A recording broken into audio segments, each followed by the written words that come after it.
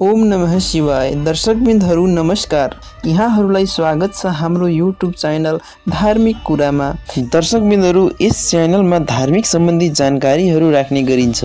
यसै क्रममा आजको विषयवस्तु रहेको छ अध्ययन कक्षको लागि विद्यार्थीहरूले जान्नै पर्ने केही वास्तु टिप्सहरू जसले विद्यार्थीहरूलाई पढ्नमा मन लगाउँदछ। हाम्रो च्यानलमा नयाँ हुनुहुन्छ भने यस्तै यस्तै जानकारीको लागि हाम्रो च्यानललाई सब्सक्राइब गर्नुहोला र नजिकैको घन्टीमा टच गरेर अलमा गरिदिनुहोला किनभने हजुरहरूको लागि यस्तै यस्तै जानकारीहरू लिएर आउने गर्दछु। दर्शकबिन्दहरू जानकारी अगाडि बढाउँ। हाम्रो अध्ययन कक्ष वास्तुशास्त्र अनुसार मिलेको छ भने विद्यार्थी र शिक्षार्थीलाई पढ्न मन लाग्ने स्मरण शक्ति बढ्ने र क्रिएटिभीको पनि विकास हुन्छ। कि हाम्रो अध्ययन स्टडी कक्षको वास्तु मिलेको छ त नमिलेको भए मिलाउने पो हो कि? जानौ यी वास्तुशास्त्रको उपयोगी टिप्सहरू। पहिलो रहेको छ घरको पूर्व ईशान उत्तर वायव्य पश्चिम र नैऋत्य कोणमा अध्ययन कक्ष बनाउन सकिन्छ।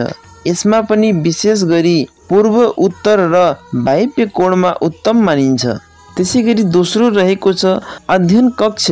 अध्ययन गर्ने समयमा दक्षिण तथा पश्चिमको भित्तातर्फ पिठ फर्काई पूर्व या उत्तराभिमुख भएर बस्नु पर्दछ। यस्तो गर्दा स्मरण शक्ति बढ्नेछ। तेस्रो रहेको छ पढ्न बस्दा आफ्नो पिठ पछाडि ढोका या झ्याल हुनुहुन्न र अध्ययन कक्षको ईशान कोण खाली र खुल्ला नै राख्नु पर्दछ। चौथो रहेको छ अध्ययन कक्षमा फोटो लगाउनु परे पनि उत्तरतर्फ मात्र फोटो लगाउनु पर्दछ। अन्य दिशामा फोटो लगाउनु त्यति राम्रो हुँदैन।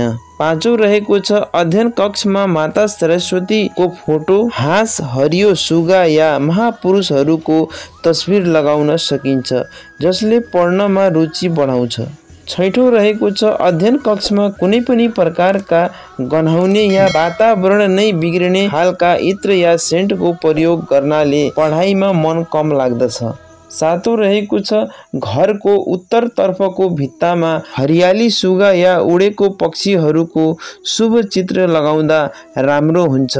यस्तो गर्नाले शिक्षार्थी सहित घरको सबै सदस्यहरूको एकाग्रतामा बढोत्तरी हुन्छ। आठौँ रहेको छ यसको अतिरिक्त मयूर बिडा कलम किताब या माछाको तस्बिर लगाउन सकिन्छ। यसो गर्नाले विचार र भावलाई राम्रो बनाउँछ। नवौँ रहेको छ। वास्तुकारहरूले जम्पिङ फिस डल्फिन या माछाको जोडी फोटो लगाउने सल्लाह दिन्छन्।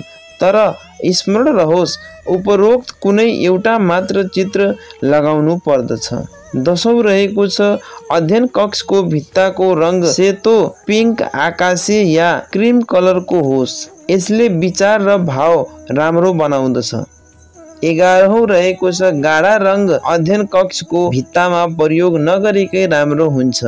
गाढा रङको प्रयोगले स्मरण शक्तिमा ह्रास आउँदछ। दर्शकबिन्दहरू हजुरहरूलाई भिडियो मन परेको भए कृपया लाइक गर्नुहोला कमेन्ट सेयर पनि गर्नुहोला च्यानलमा नयाँ हुनुहुन्छ भने च्यानललाई सब्सक्राइब गरेर जानुहोला। अर्को भिडियोमा फेरि पनि भेट हुने नै छ।